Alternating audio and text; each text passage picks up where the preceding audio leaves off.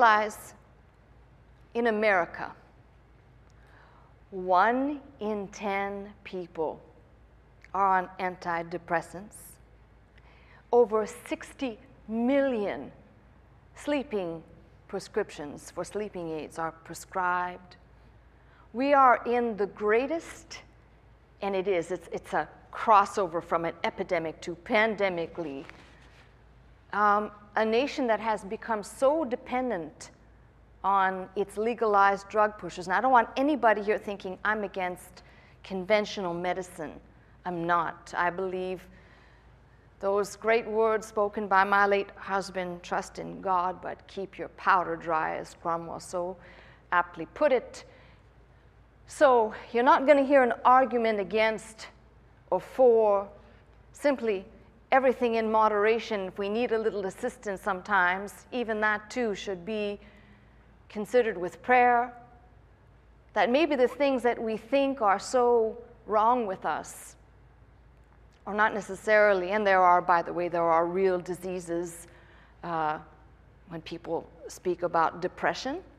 There are actually real cases where people actually don't, don't tell someone who says they're depressed that it's just their imagination. Anyone ever told you you're just imagining how you're feeling? Well, then you must have a very dark imagination. It's very real. There are biological reasons. There's plenty of people in the Bible, by the way, who suffered depression. I know that's such a foreign idea that we should actually search the scriptures to find people we may identify with, that we may understand what the causes and cures for these type of spiritual ills. Now listen, this is not a, a a prescription for your mental health today. One size fits all. You'll hear me and you'll all walk out of here on cloud nine. It's all fixed because Pastor Scott said it's all good. Well, at least this is what I love about my calling and about this church. At least I'm not worried to come and tell you the way it is. I'm not ashamed to tell you that any individual in the pulpit, I'm not even speaking about you in the pews, in the pulpit, any individual who says they don't go through those ebbs and flows, those spiritual highs and spiritual lows, the liar. And the reason is very simple. Because if the person in the pulpit really cares about the people sitting in front of them, there's bound to be this absolute desire to want the very best for you, for your hearts and your minds to be open, to grow, to become all that God intended you to be, there's the spiritual attack from the enemy who doesn't want you to prosper and grow spiritually and doesn't want the person standing in the pulpit to prosper and be able to help you along. When I speak of prosperity, I don't speak of the tangible, but I speak of the spiritual. So I determined that I would at least point a few things out in Scripture because I know within this congregation, you who are listening, who I can't see, on the internet or on radio, I can't see you. But the faces that are in this sanctuary, I know most of your faces. Oh, I know most of your faces. Yes, I do. Sometimes a very jovial smile, and other times it's just silent glances that that's all that needs to be said. Now, listen, there are many causes for the saints to be down. And again, you know, let me just indulge me for just a minute because I have to have my weekly catharsis of stuff that I just can't stand, and I share it with you, and then we get on.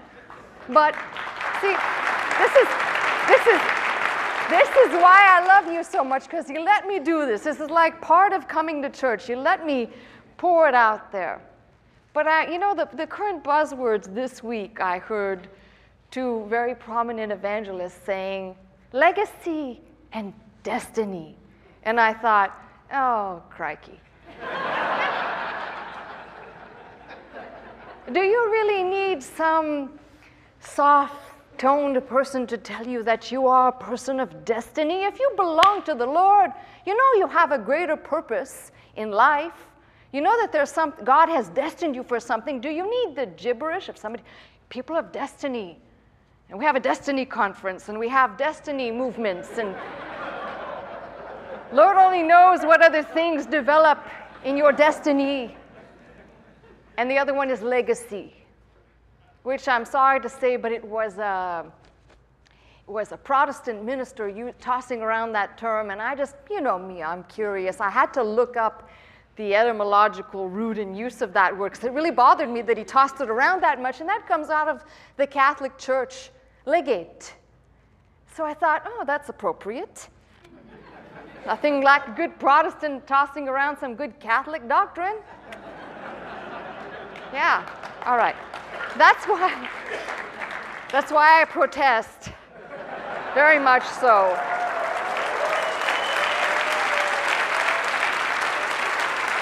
Now,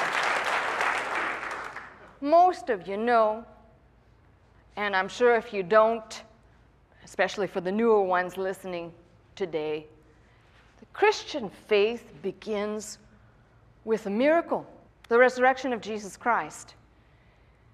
If your starting point in Christianity, if someone can adequately point the starting point for you, and you spend the time to investigate concepts that we here in this ministry take for granted, perhaps, but take the time to investigate. The stone wasn't rolled away to let Jesus out, it was rolled away so that those on the outside could come in and the declaration could be made He is risen, He is risen indeed. Christianity begins there. If you can cross that miracle point, which is probably the greatest, and I, I, th- I think it's the greatest miracle and the toughest thing to wrap your mind around that God said He would accomplish a thing, that He brought it to pass, that it did happen indeed. If you can investigate, search the proofs, if that is your starting point, the rest of your journey will be filling in those gray areas that are the remainder of Scripture and the remainder of your life, of your Christian life, filling in the blanks of what previously were consumed with other things, not relevant, not necessary. Now, if that's the basis of our faith and we start there, then everything else that I say can be built upon that, and we can always reach back to that point. And the reason why I, I make this comment in passing about the resurrection is because they, there will be people today listening to me deliver this message and then when I'm done giving you all the information, they'll, they'll come back to, yeah, but I'm still over here. No, no, I want to tell you first of all about the power of the resurrection. If Jesus Christ did indeed raise up from the dead as he said he would on the third day, as he said he would, and if we take the time to investigate how the people around him were so radically changed, then it means for you too a radical change. And I don't believe in a one time event. I believe in the course of your Christian life, there will be radical changes. Some of them will be so radical that people you don't see for years will they'll encounter you and say, "Gee, what's up with you? You, you seem different, but nothing's changed except what's on the inside now flowing out of you is that which God gave to you, God flowing through you." So, I want to make full circle. I'm starting by making this point. But now let me trickle down into the reality, contrary to the popular evangelists and speakers of the day who tell you you just got to let it go. Just let it go and it'll go away. You ever tried letting it go? Did it go away? That's why I say it's, if it's not profitable for you, where you can't grab hold and make it something you can latch onto, don't bother with it. It's not profitable. Now, many people in the Bible, God's people, suffered extreme highs and lows. The one that comes to my mind immediately, don't turn to any of these passages, I just want to reference them. The one that comes to my mind immediately, you can't help it, is Elijah. He's the first one. If you ever get down, I'm talking about really, really get down. Please go to those chapters that speak of his great victory on Mount Carmel, who, you know, what bravery to defeat those heathen Baal worshippers. What victory and then to be scared and go run off somewhere under a juniper tree and ask God to kill him. He just wanted to die. Now, I don't listen, I don't want to see hands. If you identify with any of these people and they're real to you, they're not just good Bible stories, you'll find yourself at some point in the Elijah mode where you've, you've had a great victory, and maybe the cause of you wanting to lay down under your juniper tree and talk to God that way is because you expect your whole life to be the victory mountaintop experience, conquering the enemies and being victorious. You know, it's, it is so misleading what happens today in today's Christianity. We're told by these popular speakers that you can live on the mountaintop. Every day is the mountaintop experience. What about half the people in the Old Testament? Tell me they spent all of their time on the mountaintops. Because my Bible tells me there's way more valleys, way more under the tree experiences. And I'm not ashamed to declare those too. That's part of understanding why we go through what we go through. Elijah's won. Great victory. And then we expect every day to become a victory. And when it's not, all you do is you keep looking back at that moment when you were on the mountaintop. It's kind of like this church a little bit. Some of you have already come through it. Most of you have, thank God.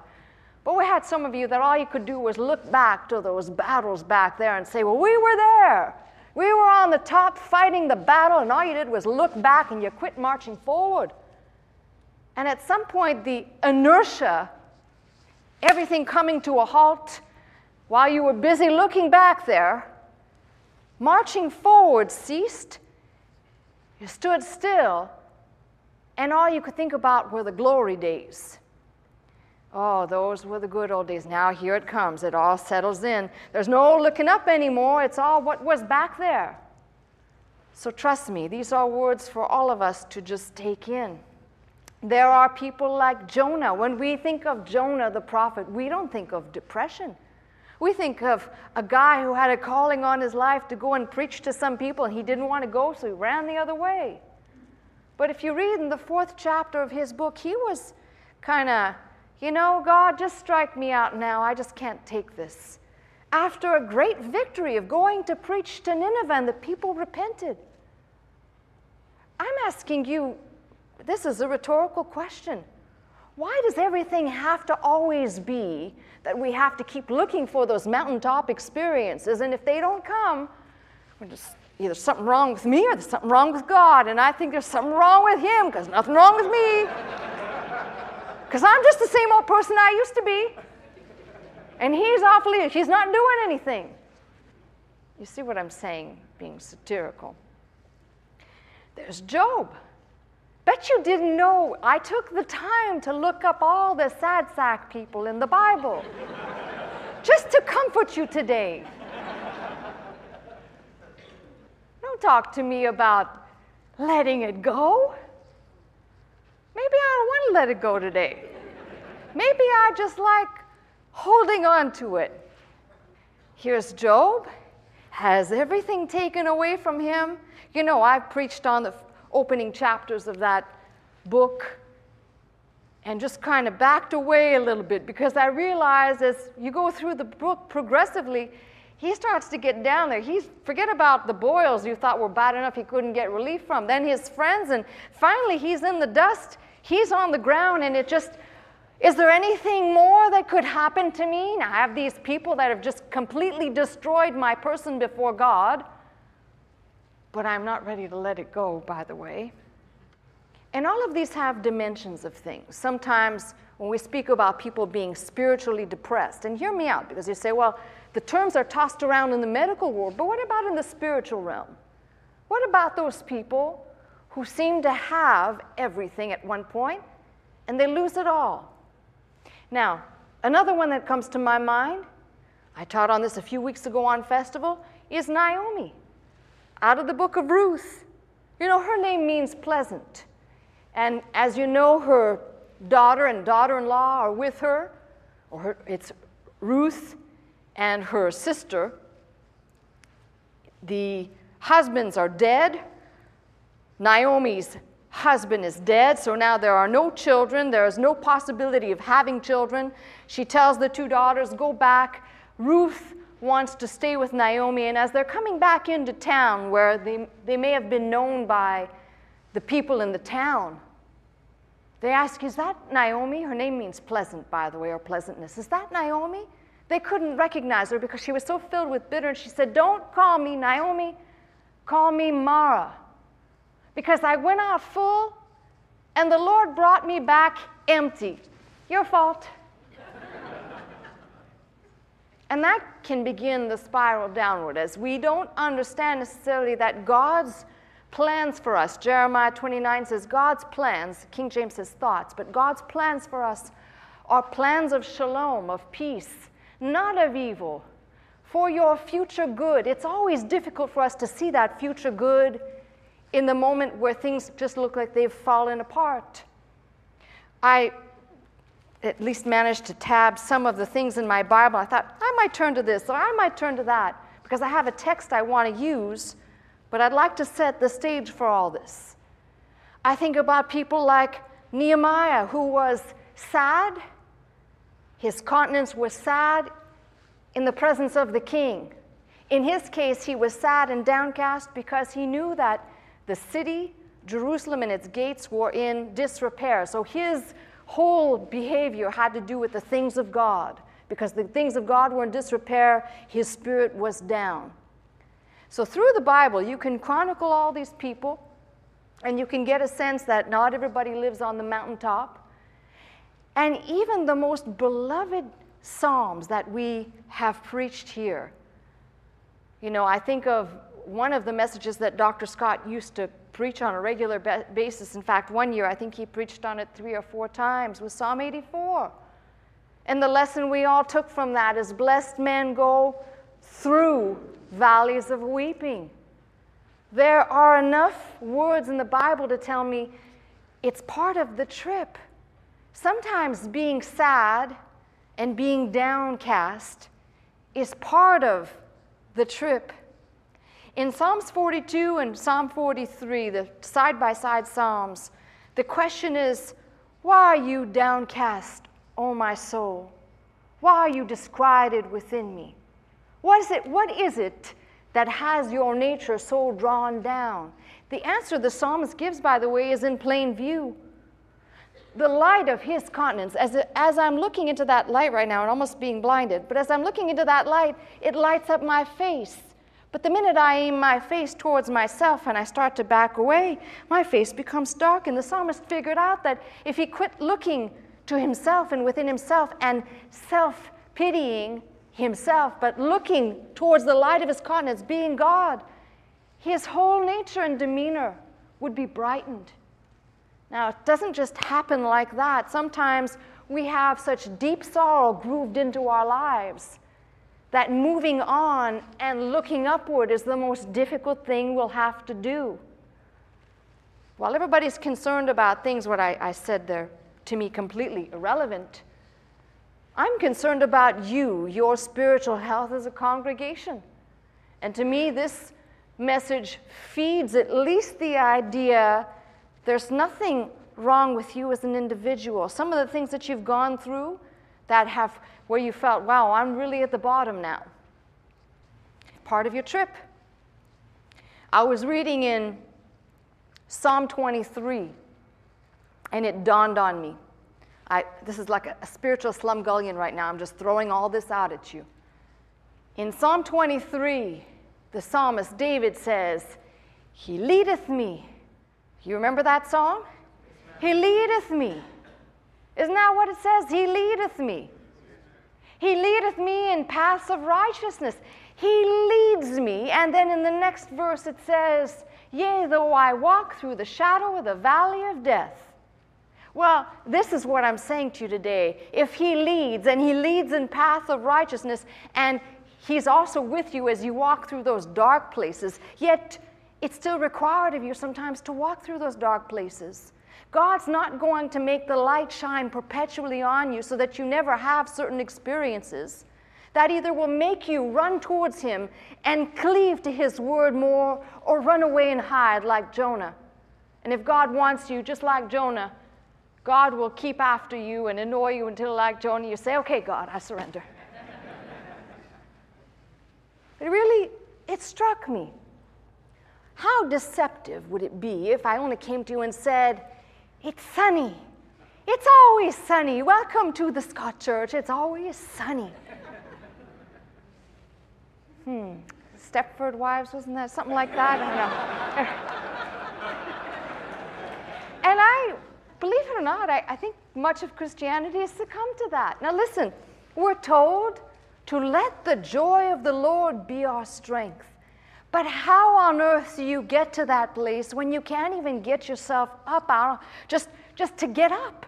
Now, I'm not going to tell you, oh, come on, you do it, be a stoic now, get on your feet. But I'm going to tell you rather what it says from God's word. And when I read this, I said, you know, I'm going to deliver this message to you whether you like it or not, because whether you like it or not, and whether I like it or not, in our human condition, we're all going to need these instructions. Hopefully, it'll become to you like a Psalm 84, but you'll take these with the instruction meant to give you the courage to stand up once more. Open your Bibles to Isaiah 52. And while you're turning there, let me just say that I'm not really inclined to give you the historical background to the 52nd chapter. That is not my intent. We do enough history teaching out of Jeremiah and other books on festival. My intent today is to lift this off the pages. The only thing I will say to you as a backdrop to this 52nd chapter of Isaiah is the people of God abandoned worshiping Him. They desired worshiping their idols. Maybe you were listening when I taught on festival out of Jeremiah, the type of idols that they went out chopped down the tree and fashioned it with their hands and put gold and silver on it, called it the melon, the, the scarecrow in the melon patch. Lifeless, must be picked up and moved around. Well, these people succumb to that. And I've tried to say for weeks, maybe months, I see the church today doing the same thing, making what they desire God to be so they can kick it and move it around and it's acceptable to them because it's a God of their making and not a God of the Bible. And I don't see any difference between what I just said and the idols that were worshiped in the time before the children of Israel were carried away into captivity. Now, God, God said, You're going to be carried away 70 years by the prophet Jeremiah's mouth. 70 years. And God fulfilled that. God also fulfilled the bringing back of his people by the decree of Cyrus to let the people come back. But right here, right nestled right here in this 52nd chapter of Isaiah, there is a word lifting off of where this sits for you and for me. Shake thyself from the dust. Arise and sit down, O Jerusalem. Loose thyself from the bands of thy neck, O captive daughter of Zion. I took the liberty to put uh, on my tablet to put this out in the Hebrew, I just want to point out a few things that I think are very important. This word here, you don't need to know Hebrew or to read or understand, but the hithpael in the Hebrew is reflexive, so it is for yourself an imperative. So shake yourself off. I want you to write that somewhere in the margin of your Bible because these people were low and at a low point. But I want you to personalize it for you because when you go back to this chapter one day when you're really low and you say, I need something to lift me up, I want you to remember from God's book, from God's own prophet, said exactly as if he was speaking to, to you today and he speaks to us through his word, just like this. This is a reflexive command. Shake yourself off. Well, I've tried already, but I just can't seem to do it. Let me ask you a question. If you really believe that God was talking to you through His Word and telling you to get up, well, maybe you would give Him an excuse. I know if I'm reading this, I think these are God's words to me. I take them and I personalize them. And if God says, shake the dust off and get up, uh, it's not even how fast, it's, it's movement while it's coming out of the mouth of God. And that's how I take these words. in the reflexive, which means only you can do that. Now, I don't preach works. I don't preach that somehow you can save yourself. But I'm lifting this off the pages, and I want you to see the beauty of what's being said here. So you, you shake yourselves. I'll put it in plural, but it should be singular. You shake yourself from the dust. Now, you know, just the very fact that Isaiah is telling these people to shake themselves off from the dust means that they had hit a low point. Wouldn't you say? if you're in the dust, it means you pretty can't get any lower than that. So I like the fact that this is the starting point for anybody who has hit bottom. We sing a song, Get Up, Get Up in Jesus' name. Well, this is this pretty much fits the category, but you're going to see some other beautiful commands nestled right in here. Your King James does right and says, Arise. Here's another simple imperative shake yourself off, get up, get up. And this has been an interesting translation for me, but your King James doesn't even put this word in here, but dwellers of Jerusalem, Yeshuvi, Jerusalem, dwellers of Jerusalem, inhabitants, abiders of Jerusalem. And then here's another one of these reflexive, you can see, Hithpael imperatives. This one says, loose, loose or loosen. Your King James says, the bands of thy neck. Loose now, be careful here. When it says you loose yourself, you can't loose yourself from anything. But the ending of this helps me that the one doing the loosening for himself is not you. Someone is going to loose you. I love the fact that Scripture, all you need to do is, is read and it will confirm itself. What was Jesus reading when he went into the temple and he opened the Isaiah scroll that we read of in Luke 4:18 where he says he came to preach deliverance to the captives. Same words are being used here to show this is why I started with the resurrection. The gospel will set you free. Doesn't mean that you're guaranteed to float every single day of your life, but here's a good starting point a reflexive command imperatively and then I like the fact that it's something around your neck. Now, I had to make a few notes here on why I thought this was so relevant. A lot of times, and I'm only speaking to those people within the body of Christ, I can't help somebody out there who's not interested or hasn't been opened up in heart and mind to understand a thing about what God desires for you truly not what people profess God desires for. But I, I like the fact that right here in this one passage, I have, it's called a spiritual boot from God. You know, the type every once in a while while you're busy feeling sorry for yourself. Listen, no one can speak on this subject without experience. Let that settle in for a little while. You know, somebody said to me, What do you know about being down. First and second and third book of Scott. now, listen. I took all this and I thought, you know, we don't know the root cause. We know the root cause for these people being in the dust, but we don't know the root cause. This isn't a one size fits all, and we say, oh, people, God's people get depressed. God's people are down. But I can tell you, and as I said, there are some people who have chemical imbalances and they have psychological issues. Trust me, I go work in the psychiatric ward of a lot of these institutions, and I know some of these people. Um, don't try and tell them they don't have a problem. I'm not even going to try and tell you that because they do. You don't need to go into a, a, a, psychiatric ward to know that people in the ward actually have a problem. They're there for a purpose. And by the way, as long as Uncle Sam can keep everybody medicated to the max, we don't ever have to deal with it. Just telling you what I really think. The reality is, I believe there are some people who have spiritual warfare going on. We can't walk around and say, well, that person's demon possessed and that person's not. Only God knows what's going on inside the vessel of a person. But all I can tell you is it is common.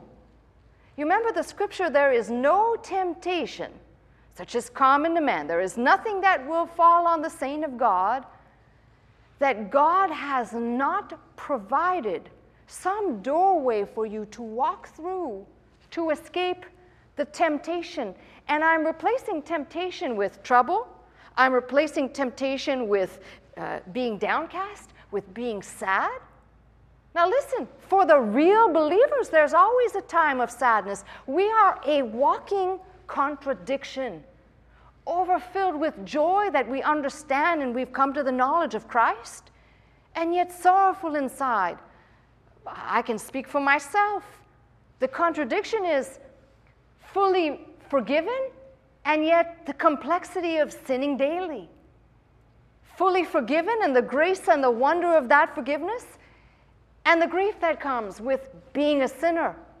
Not because we've gone and committed a certain act, but because we're sinners.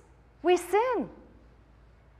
Now, all of this becomes an effort in futility if the whole sum total of what I'm saying isn't connected. We can, for some, we can try and trace back the root. You know, oh, here it comes Christian counseling, which is a very big uh, industry. People go and they seek counsel. And the only thing I'll say is a lot of times what happens in these sessions is we have people that will sit down and they want to they want to pry into your life. Let's peel back the onion enough here. We'll get to the root of the problem and then we'll deal with it. But let me ask you a question. That's why I started with the resurrection. If we're really looking at ourselves and we see ourselves as a bunch of onions on the shelf, then each onion has its own pungent odor, its layers, and a core. All onions, well, they may have a different variety. I'm sorry, I went from people to onions.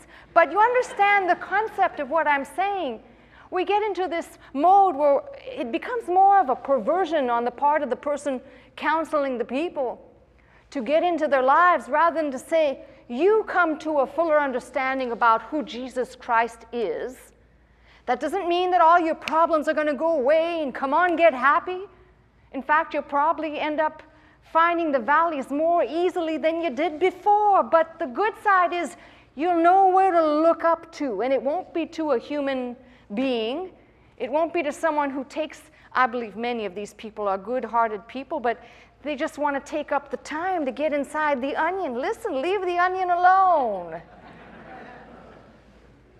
but rather, you bring yourself to the point of saying, only God can help me. You'll be like the psalmist in Psalm 69. I'm going to read it to you. You'll be like the psalmist saying, Save me, O God, for the waters are coming to my soul. I'm sinking. I'm tired of crying. My eyes are failing me. I'm waiting for you, God. You'll be like that. In a day where everything has become disposable. This is, I said, this is a hodgepodge, but it'll all come together when I'm done in a day where everything is disposable, marriages are disposable, you don't like what you got. I mean, you know, it used to be in the day you, you bought it, you own it, it's yours. right. I don't like it so much anymore. I'm, I don't want to deal with it. Next, in a day of disposability, from razors to marriage, even kids now, if you can believe that. I read that case about the kid who wants to have different parents and they're trying to get separation from the parents so they can have different parents. This is the age we live in, not just the fast food society. And please don't talk to me about how ADD, attention deficit disorder, has manifested itself so rampantly in our communities and in our lives. We're just less dedicated to being committed to something and standing up for what we want to be committed to. Unless, of course, you're in politics, and that's a different story. but let me go back to this. In many diverse cases, what I find is that after a time when reality has hit me, I am more like the prodigal son, and you are more like the prodigal son who, in spirit or in mind, wanders away from the father's house, even for a brief hour in spirit, thinking, there's just got to be something better out there. And when you come to your senses, when you come back to your sanity, you realize the bread that's enough to spare in the Father's house is ample and enough to keep you not only satisfied, but to keep you happy. What did Jesus Christ tell his disciples? When we're speaking about our state of mind, he tells them he has to go away and they become very sorrowful until the day that they fully understood what his departure meant. And then the most important thing, that they might have peace, that his peace might be with them. And I think, where is that message in the church? Where is that message in our souls? Where is that message where, when everything is becoming the pressure, and I don't care if you, your pressure is real and bearing and weighting down on you, like Job in the sixth chapter, if you read that chapter in your own time, he says, The weight is crushing me. How many of you been there? The weight is crushing me. Can't take the pressure anymore. But you made it through the pressure, whatever it was. You, somehow you survived the weight that you, th- you thought you were carrying the world on your back, right? Turns out that it was just not as big as you thought it was when it was all over. Now, I'm not making light of people's problems. I am telling you from this scripture something that became clear to me. There are a few things we can grab hold of when we're down in the dust. You know, there's only one way to go when you hit bottom. I have a few here in the church who have been kind of hanging on at bottom for a long time. Never reached for the handle to get back up because they're enjoying the self centeredness of it all. It's, it's the reverse of good, uh, you know, good eyeballs and good attraction and good attention. It's that this is the way I will captivate you in my negativity.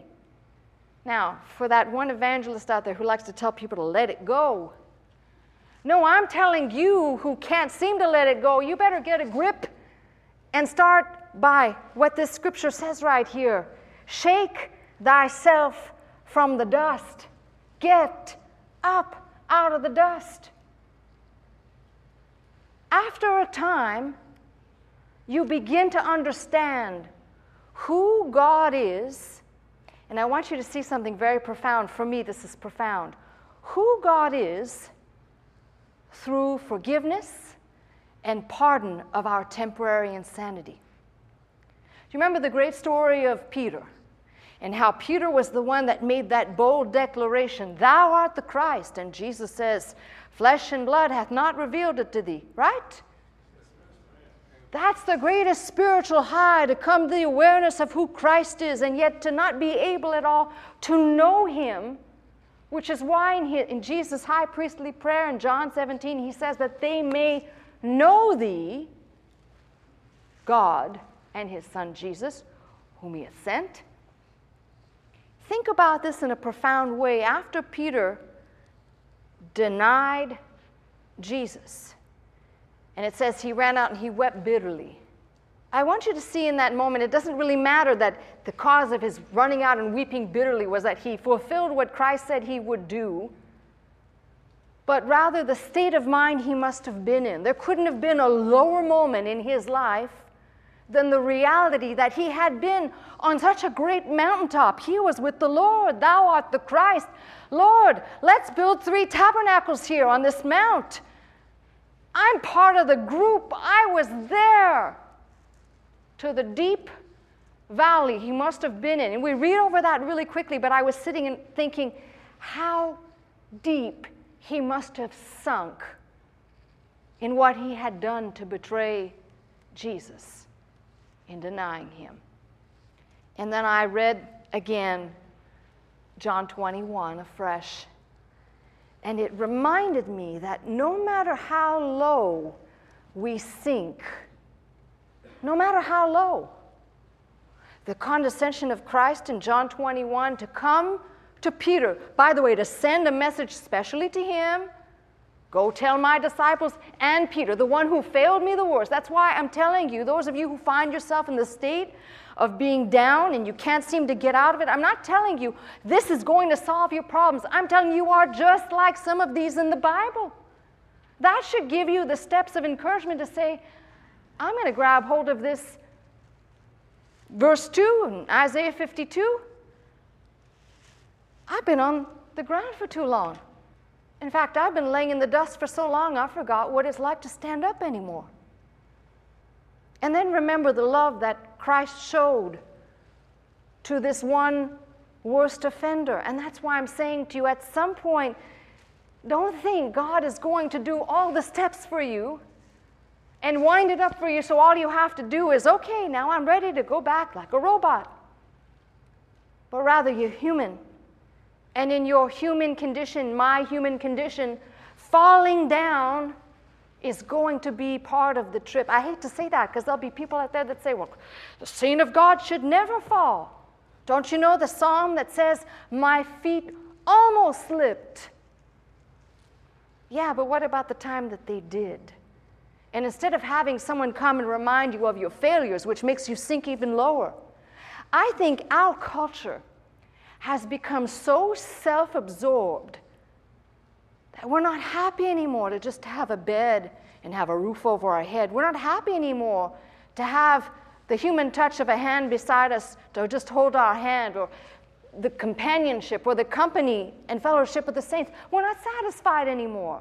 We've become greedy and arrogant.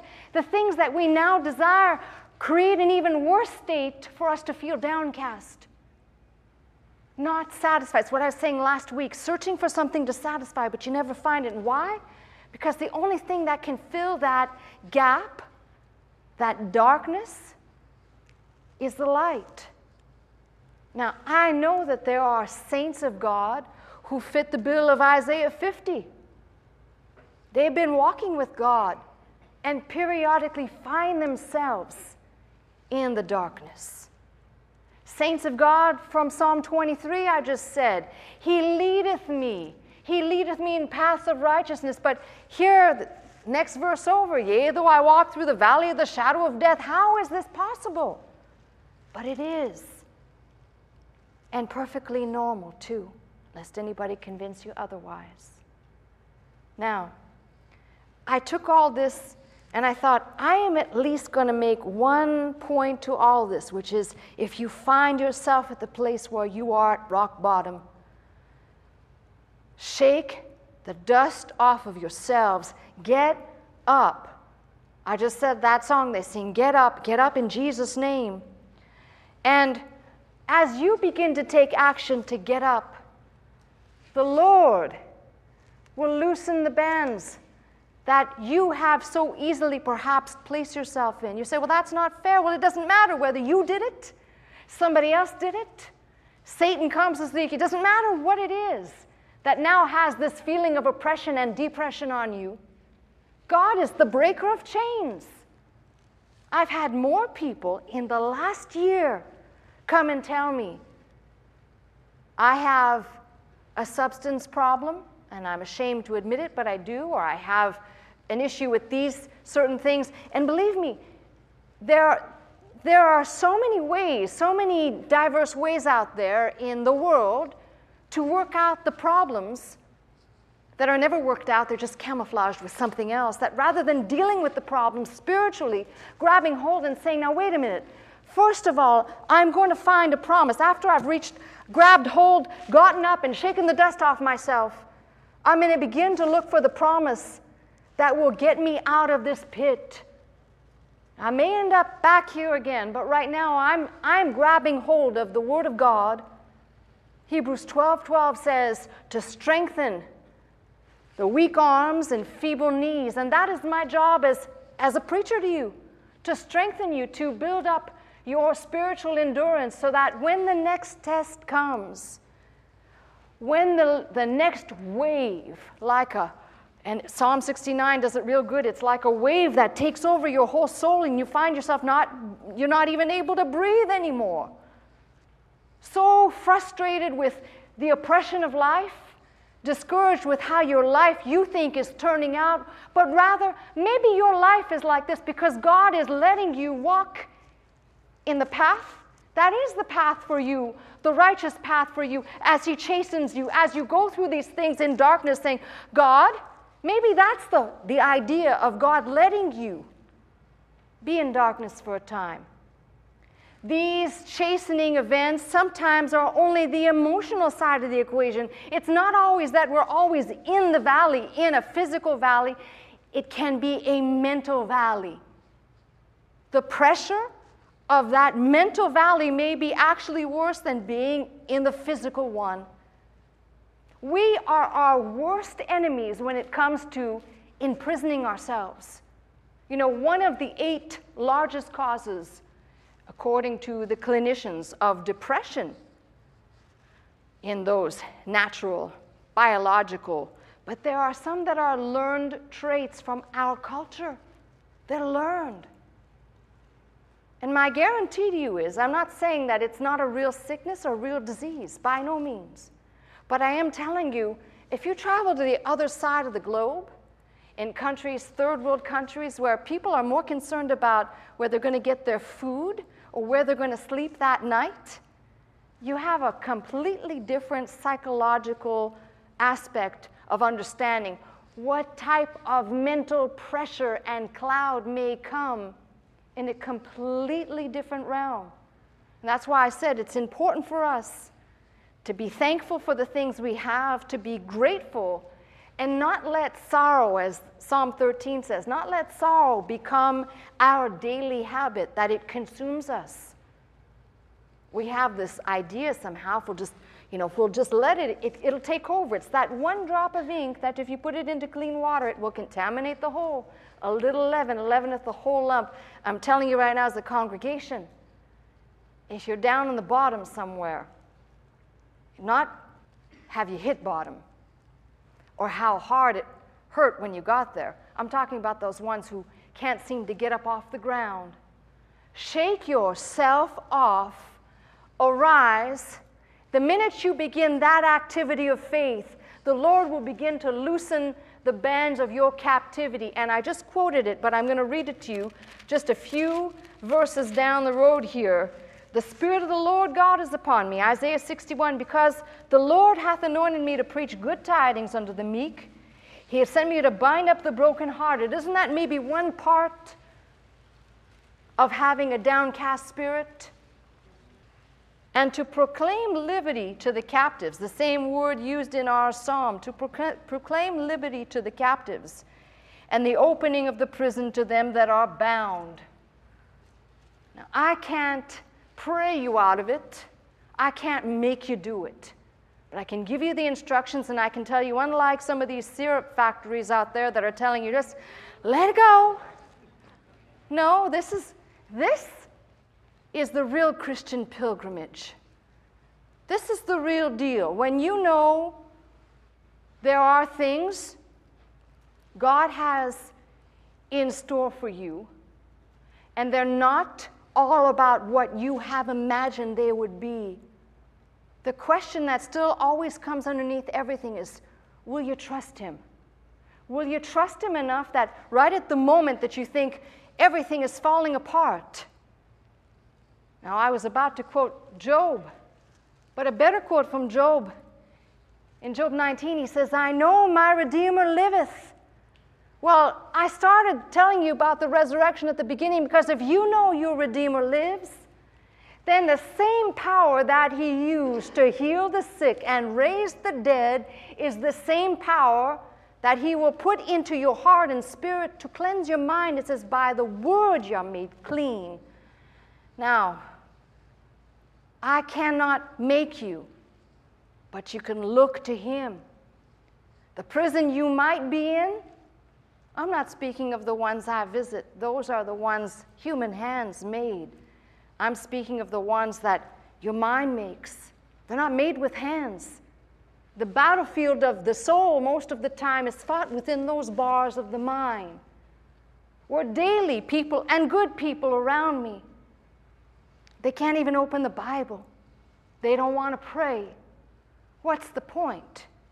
God's not doing anything for me. My life is stagnant, whether it's your business or your personal life, whatever it is. You may think your mental prison just for you, created by you, designs by me.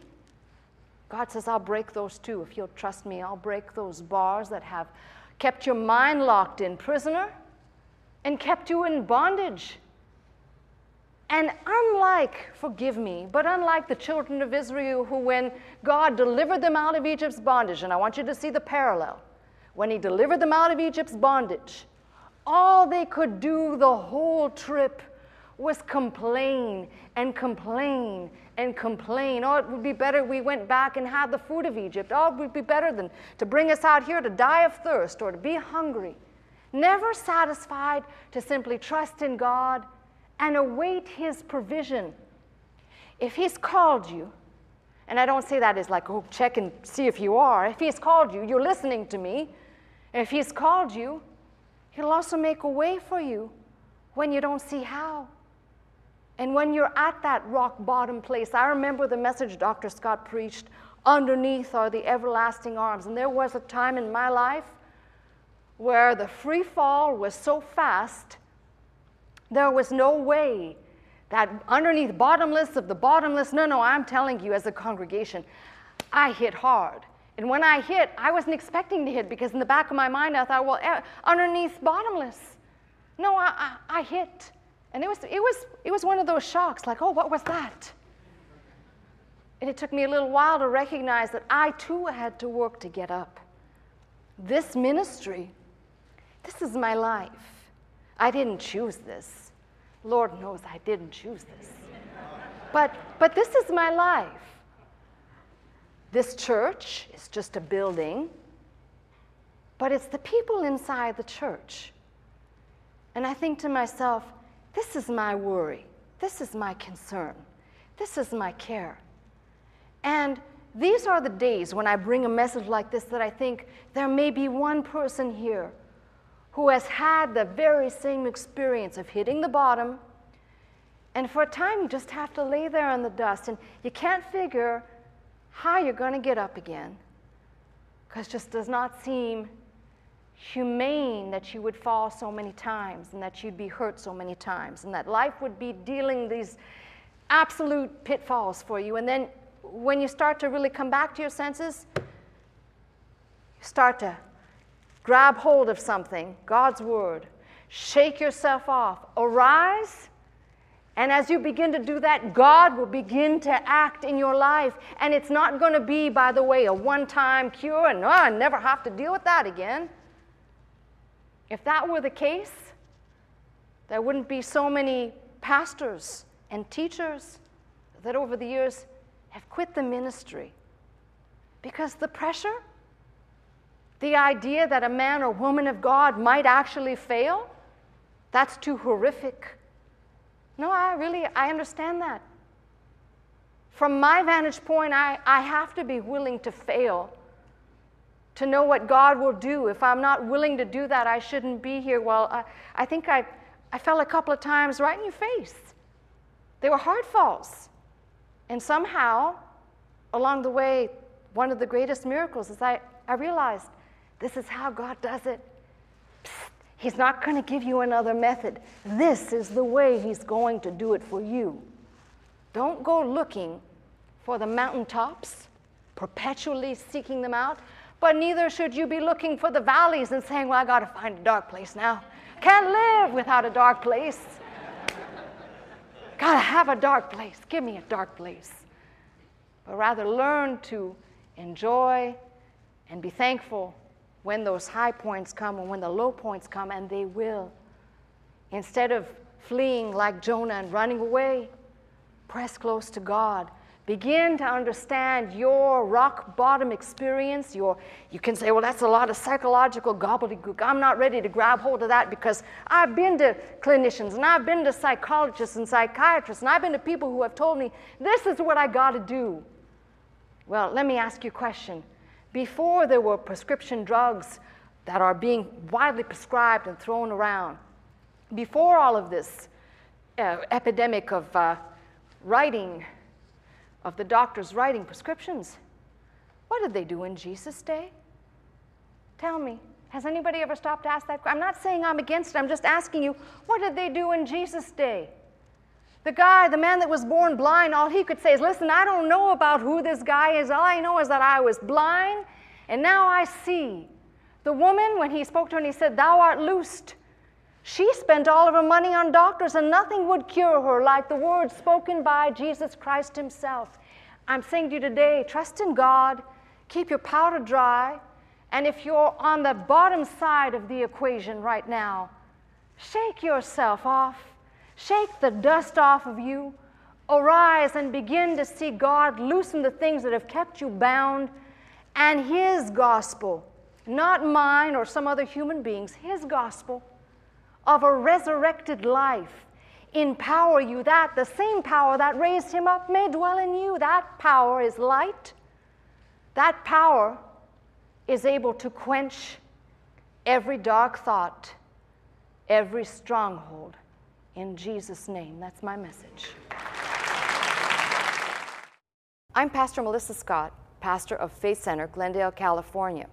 I teach every Sunday morning at 11 a.m if you'd like to attend services with us, simply call the 800 number, that is 800 338 3030, to join us. If you'd like to watch, listen, and learn 24 hours a day, simply log on to our website at www.pastormelissascott.com.